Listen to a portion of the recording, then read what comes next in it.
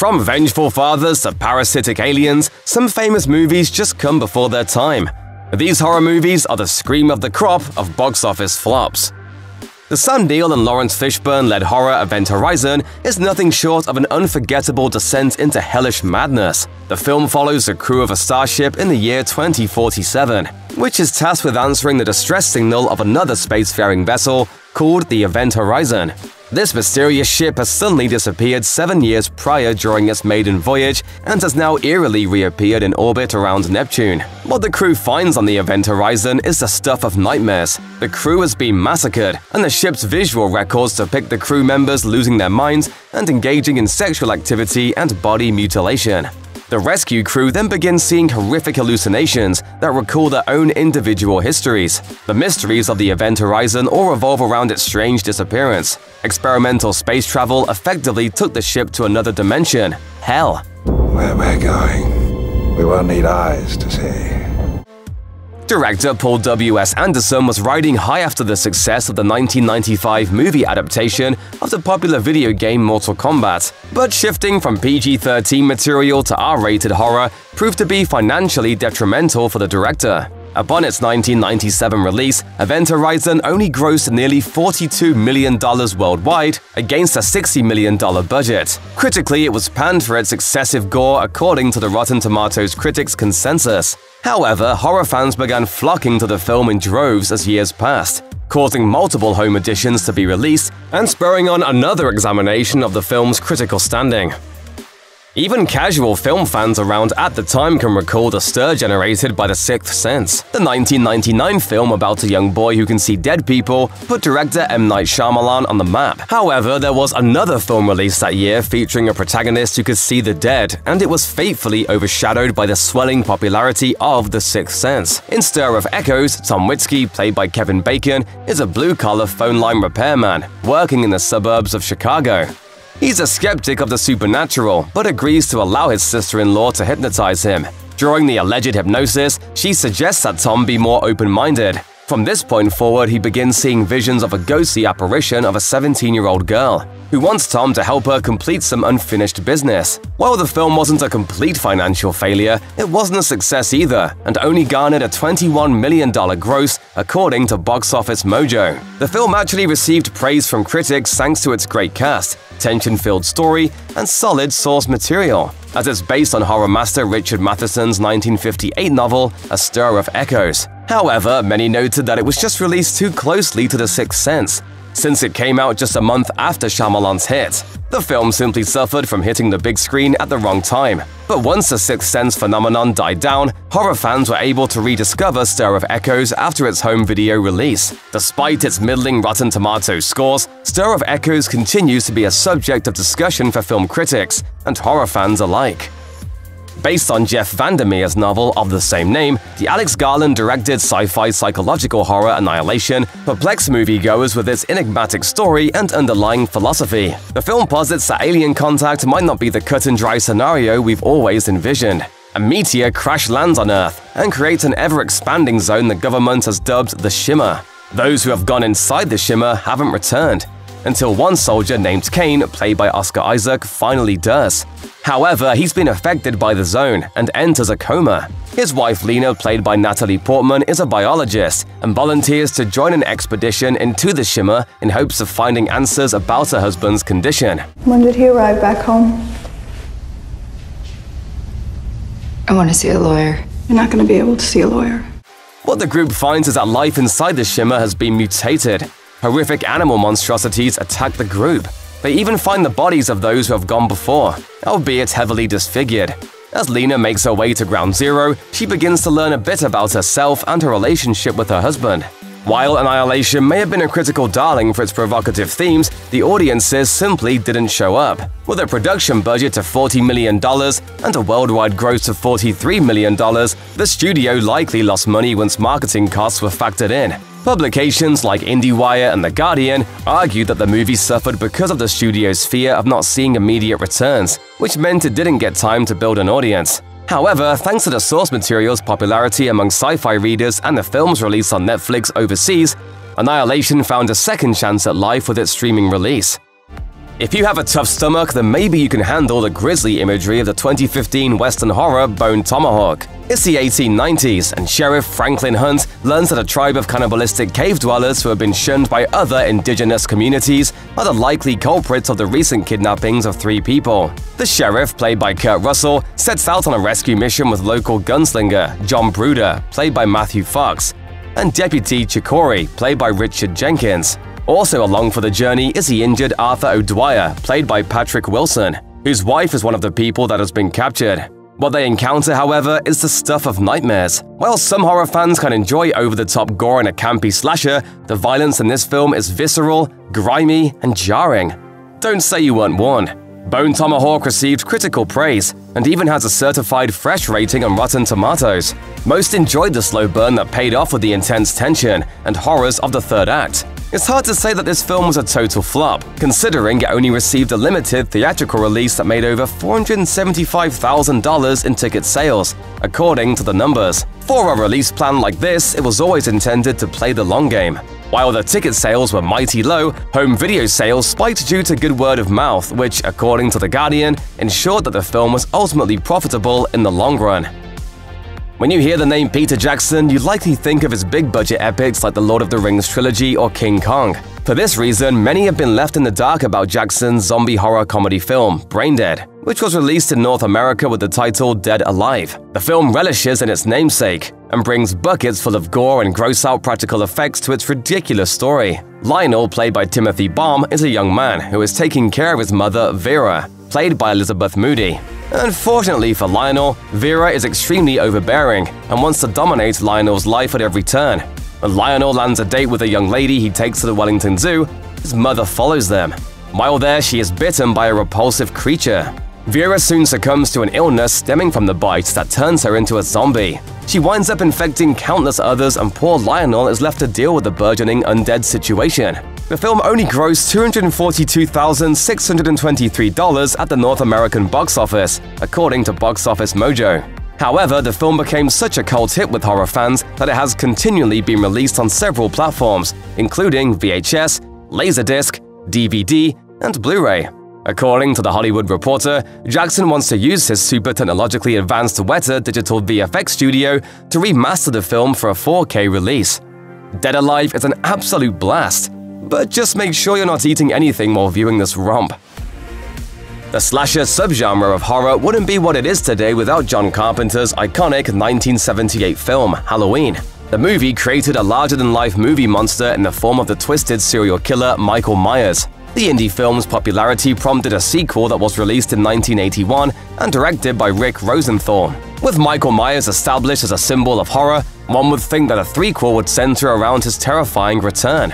Instead, the filmmakers and producers opted for an anthology approach to the Halloween series, where each film would tell a different story on Halloween. Carpenter felt that Michael Myers' story was complete with Halloween 2, so Halloween 3 focused on a new cast of characters and a Michael Myers-free tale. The problem is that the franchise already had two films under its belt featuring Michael Myers. Audiences had inextricably linked the killer with the Halloween name. Once moviegoers realized he wasn't featured in the third installment, the film's box office performance waned significantly. Box Office Mojo reports that Halloween 3 received a paltry $14 million gross compared to the $25 million of its predecessor and $47 million of the first film.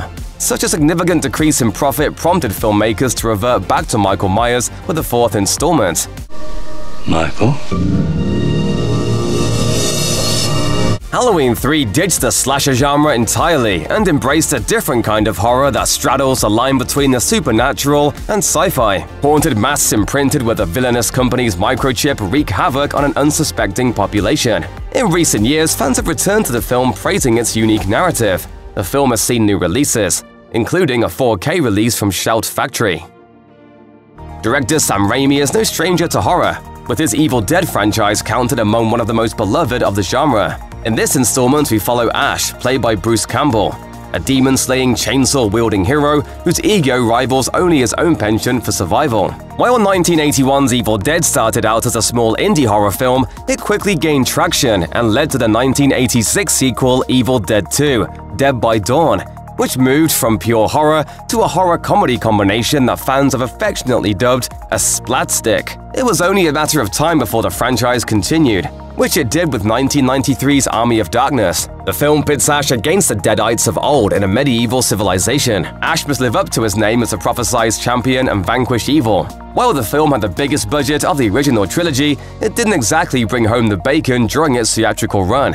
Despite its $11 million budget, Army of Darkness only pulled in a measly $11.5 million in North America and $21.5 million worldwide. Still, like the film that started it all, Army of Darkness became a cult classic. In fact, Army of Darkness on home video became a gateway for a whole new generation to discover the Evil Dead films. Eventually, fan fervor pushed interested parties into making a successful reboot film in 2013, as well as the Starz TV series Ash vs. Evil Dead. There's more Evil Dead on the way, as Evil Dead Rise is scheduled to hit theaters in the spring of 2023. There's nothing quite like a good old-fashioned story of revenge and murder, and 1988's Pumpkinhead serves up vengeance nice and cold. Ed Harley, played by Lance Henriksen, is a widower and single parent of his young son Billy, played by Matthew Hurley. One day, while Ed is away for work, a group of misfit teens begin to pick on Billy. They accidentally fatally injure the boy and flee the scene. When Ed returns, he finds his deceased son and soon learns who killed Billy. The grieving Ed visits a witch and asks her to help him seek vengeance upon the teens. He called upon this thing in that man's name, and that man, he'd be avenged. She summons a demonic creature known as Pumpkinhead, who systematically hunts and kills the teens one by one. This is another film that suffered because it was released in a limited number of theaters, which led to Pumpkinhead only grossing $4 million at the box office as a result. However, the film eventually found success through home video releases, as new fans discovered this terrifying and emotional film directed by Stan Winston, the special effects mastermind behind Aliens and The Terminator. Its home video success enabled the film to receive a handful of sequels which, unfortunately, don't remotely live up to the original film. George A. Romero, the father of the modern zombie, is a titan among horror fandom. 1968's Night of the Living Dead became memorable for its graphic violence and depiction of a world besieged by the cannibalistic undead. In many ways, it was the first of its kind. The horror maestro succeeded that first outing with 1978's Dawn of the Dead, a zombie horror based in a mall, rife with biting commentary on commercialism. Romero then plunged ahead with 1985's Day of the Dead, which condemns the US military's might and penchant for shooting first and asking questions later. Day of the Dead takes place in a bunker, where a group of scientists and soldiers try to survive and find a cure for the zombie plague. But it turns out the human threat is almost as serious as the zombie one. We need each other. Can't we just get you along? need us the way I see it, lady. I'm not so sure we need you at all. Initially, the film only pulled in a worldwide total of $5 million against a $3.5 million budget, according to Box Office Mojo. However, according to Pop Matters, it got rejuvenated through home video platforms, including VHS and DVD. Day of the Dead garnered critical praise for Romero's unflinching perception of society, as well as for its horrific gore effects produced by horror legend Tom Savini. While Romero continued his Night of the Living Dead series with more films over the years, Day of the Dead capped off the best trilogy of the bunch.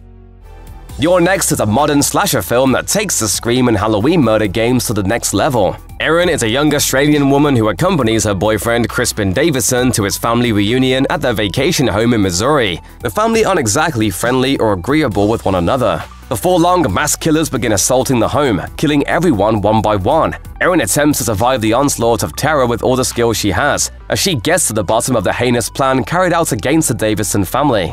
The film features over-the-top death traps and merciless assaults with plenty of blood to go around.